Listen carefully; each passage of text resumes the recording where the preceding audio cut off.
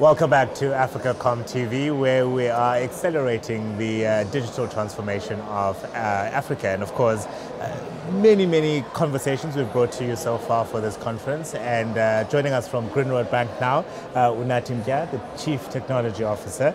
Uh, you just delivered a presentation on why South Africa is uniquely positioned to benefit from the global digital revolution. Tell us about some of your key points. Well, the interesting thing about it, obviously, and I was just telling the audience there, that you know people look at this and start thinking it's talking about the state of readiness. All right. So the only country that is not uniquely positioned is one that is, doesn't have problems. Yeah.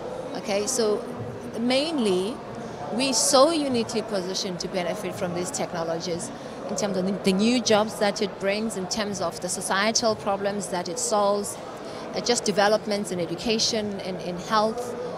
Because we've got such challenges, you know, we've got such a deficit in those areas, we are therefore uniquely uh, positioned to benefit from it. Meaning there's no way we cannot benefit from mm. it. Yeah. And are we in a position where we are, one, identifying what those opportunities are, and two, exploiting it using the term positively for us to start drawing benefit from those opportunities? You know, it, it, it's difficult to answer that correctly because it depends on who you're speaking to, right? So, my view is that our state of readiness could be better. In many ways, uh, these 4R technologies are with us. They're not on their way, they are with us, and, and, and, and we're using some of them now. We're just talking, like in the health, health I'm wearing a Garmin, okay, which is able um, uh, to measure my blood pressure because I'm a runner and I use it quite efficiently. That's a 4IR, 4IR technology right there. Okay, so the problem, but in fact, my, my topic was uh, uh, embrace 4IR or be left behind. So, what typically happens, the first, second, third revolution, did we embrace it? The jury is out. Um, the third revolution would be the one that came with computing, that came with IT, um, you know, uh, and, and, and internet usage. And as you will know, um, there's still a number of people who do not know what internet does. In the context of South Africa, that is. Yeah. So it tells me, and, and I don't know if there's been a study of what the penetration is in this country. There's been many studies, I suppose, but um, in many ways, we still haven't benefited as we could have, yeah. even in the third digital revolution. So um, we're at a stage now where we must start, not start, I mean, these technologies are right here, but how what's the percentage of our society that's going to embrace it? Um, that will, at the end, influence that South Africa has actually embraced it.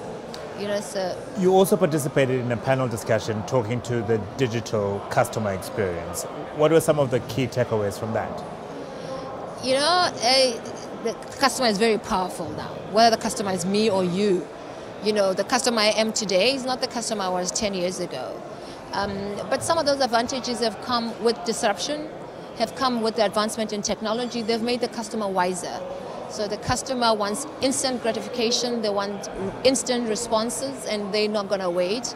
So I think uh, a, a, a, lot of our discussion then was in recognition of the power that the customer has, yeah. and how, for instance, when I answered, um, you know, what, what, does, what does it mean for you? And for me, it means someone knowing my name. It means customizing my service according to my needs in the way that I'm going to appreciate it.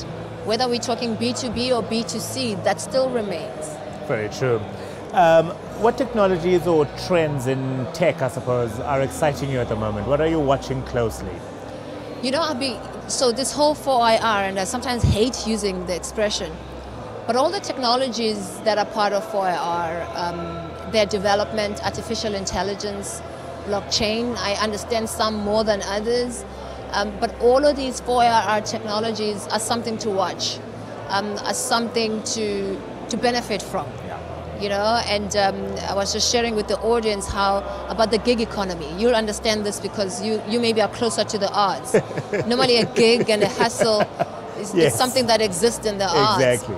But the, the, the first 10 most popular jobs in the gig economy are the 4IR technologies.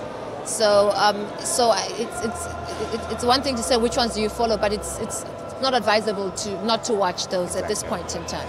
Exactly. Yeah. Um, events like AfricaCom then become important in order for us to be exposed to new ideas, inspiration, if nothing else, and what is to come. Yeah. Look, for me, of course, there's a lot of conferences throughout the year.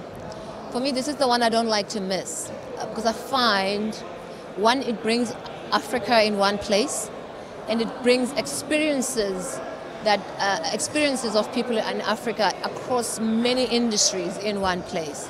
So I find it very useful, and um, I, I would still recommend someone, people to attend it. And um, I think one can learn a lot. You know, I'm sure you learn a lot from all the people that you amount, interact yes. with, that you interact with. So it's quite useful, and I think they try as well to be ahead of the curve in terms of what's going on, in terms of the future, just the impacts in, in this continent. So it's, it becomes very useful, yeah. Unathi, thank you very much for joining us at AfricaCom TV. Thank you, Africa. Unathi um, Kya is the Chief Technology Officer at Grindrod Bank.